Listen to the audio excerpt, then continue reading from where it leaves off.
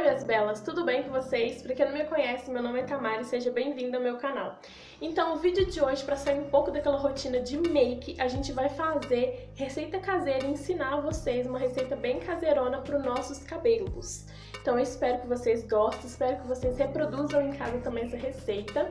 Lembrando vocês que eu não gravei o passo a passo aplicando no cabelo, porque no meu banheiro não tem como pôr o tripé, fica muito apertado e por conta da janela também dá muita claridade, tá? Então eu tentei e não deu certo, então vamos lá.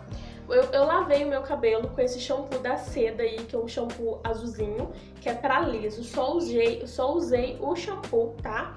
E lavei duas vezes bastante meu couro cabeludo pra tirar toda a sujeira do couro cabeludo. Depois disso, a gente vai preparar a nossa receitinha caseira. Dentro de um potinho vocês vão colocar duas colherzinhas de máscara de creme, de preferência de vocês. Eu tô usando essa daí da Canechon, que é de liso, então tô colocando umas duas colherzinhas. Você coloca a quantidade que você usa no seu cabelo. No meu cabelo eu uso duas colherzinhas e dá e ainda às vezes até sobra. Eu vou colocar uma colherzinha de sopa de glicerina. Se você quiser potencializar mais ainda essa sua receita, você pode, por exemplo, colocar é, um óleo de coco, maisena, pode colocar açúcar, mel. Eu tô usando só a glicerina para vocês verem o resultado somente da glicerina, tá?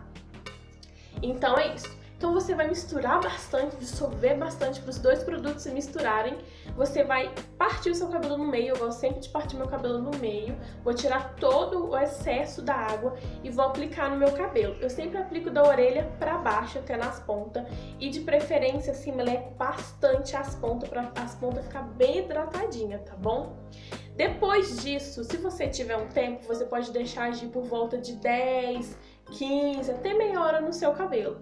Se você não tem tempo, como eu, que tenho meu bebê em casa, não tem como fazer umas receitas caseiras assim mais duradoura, enquanto o produto tá agindo no meu cabelo, eu tô me esfregando, tô me depilando, tô cuidando de mim no banheiro e ele tá lá agindo. Eu deixo por volta de 5 a 10 minutos, tá? Mas que isso é muito raro. Depois disso eu vou enxaguar o meu cabelo e vou passar o condicionador. O condicionador que eu tô passando é esse aí também, que é o azulzinho, que é da mesma linha do shampoo, tá? Depois eu só deixo uns 5 minutinhos também do shampoo, do condicionador agir no cabelo. Eu gosto de sempre finalizar com, cabelo, com o condicionador, porque eu acho que fecha né, as cutículas do cabelo e protege mais o cabelo né, durante esse tempo até na próxima lavagem. Se você não gosta de usar condicionador, ok, é só enxaguar e secar. Outro ponto de mim também que eu não gosto de secar com secador. Quem me acompanha desde o começo do canal sabe que eu não gosto de chapinha, nada desse tipo. Eu sempre deixo o cabelo secar naturalmente. Então no outro dia que eu vou ver o resultado dele mais bonito, sabe? E o outro dia é hoje. Esse foi o resultado, ó, final do meu cabelo. Vou soltar aqui minha franjinha. Minha franjona, ó. E o resultado final do meu cabelo foi esse tá? A glicerina, gente, além dela hidratar o cabelo, ela também é, ela alinha mais o seu cabelo, então ela também tira o frizz do seu cabelo, tá? E ela é muito boa, eu gostei bastante do resultado do cabelo. Ó, o meu cabelo é anelado, tem alguma hora que ele tá com cachinho. E quando eu uso a glicerina, ele fica menos anelado, tá vendo? Ele fica mais assim, esquisito, tá vendo? por conta disso, porque ela alinha bastante o cabelo, aqueles frios que a gente tem, tira tudo.